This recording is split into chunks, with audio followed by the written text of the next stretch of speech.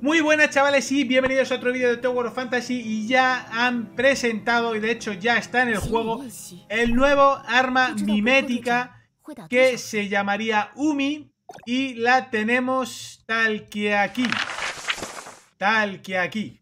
Vamos a verla un poquitillo de primera mano, vamos a ver un poquitillo qué tipo de arma es, vamos a ver algún vídeo donde se ven un poco los movimientos porque pinta chulo, pinta súper interesante. Chavales, abajo para que os suscribáis, campanita, activar todas las notificaciones, miembros cardíacos, gracias por el apoyo. Poneros cómodos que empezamos.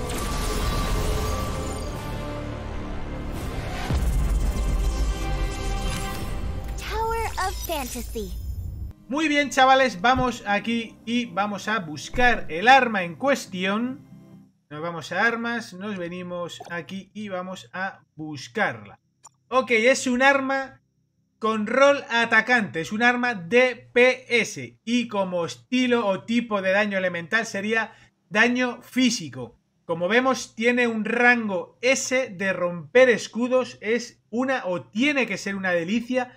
¿Cómo rompe escudos esta mujer? ¿Vale? 14 puntos, rango S. Y para cargar el arma rango A tendría 9 puntitos que francamente no está nada mal. Yo no sé si subirá un poco su porcentaje de romper escudos a medida que la subimos estrellas, pero está interesante. Vamos a ver ahora un poco sus diseños y le tendríamos tal que aquí. Vale, tendría dos tipos de diseños distintos. Este es el diseño clásico, el diseño original, ¿vale? Y luego tiene el segundo diseño que se desbloquea cuando llevamos el arma a C3, a tres estrellas, ¿vale? Y la verdad es que está muy, pero que muy guapo. Y en cuanto a lo que sería la, pasiva mimética, es que cuando lanzas una de las habilidades se aumentaría el daño un 12% durante 30 segundos. La verdad es que pinta bien. Es una pasiva que solo la va a afectar o la va a beneficiar a ella, ¿vale? Es un poco para que lo tengáis en cuenta. Vamos a ver ahora un vídeo que hay por ahí circulando en las redes, en las páginas chinas, donde se ven un poco, se muestran los movimientos. Y ok, aquí tendríamos un poco, pues esta es parte o lo que corresponde al nuevo mapa, ¿vale? Que van a meter en la 2.3. Un poco para que veáis, ahí parece que está escondidilla en la caja, viene un pajarillo, empieza a dar ahí, ya se la ve el ojillo, ahí un poquitillo y vale, pues ahí sale. Bueno, pues un poquito para que veáis aquí el arma, pero vamos a ir directamente a lo que nosotros nos interesa. Que queremos ver en acción, vale, ya vemos que debe ser como una especie de maga con las cartas, la chistera etcétera, etcétera, etcétera. Y vamos a lo que interesa, ¿vale? Vamos a lo que interesa. Aquí viene uno de los enemigos que la corta el rollo. Y ahí saca el látigo, ¿vale? Saca el látigo que pinta que va a pegar durísimo.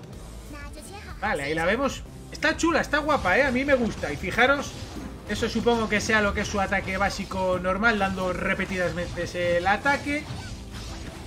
Hace ataque de área, está bastante bien. Tiene un área, un arco, un abanico de ataque bastante grande. Esto tiene pinta de ser la habilidad especial. Y ahí vemos las cartas, va lanzando cartas, va haciendo cositas. Está interesante, pinta muy chulo, ¿vale? Yo no sé ahí exactamente qué interacción tendrán las cartas, pero bueno, ahí viene otra vez la habilidad. Esta creo que debe ser la del cambio de arma cuando está el arma cargada. La carga de arma. Y un poquitillo, pues ahí habéis podido ver. Vamos a avanzar un poco más la, el vídeo.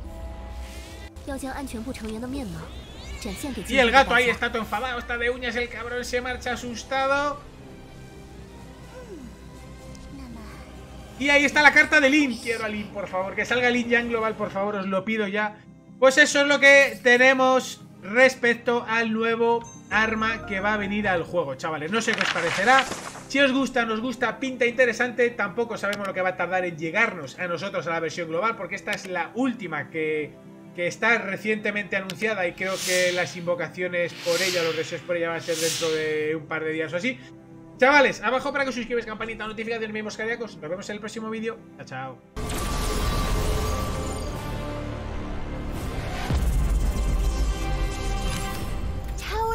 Fantasy.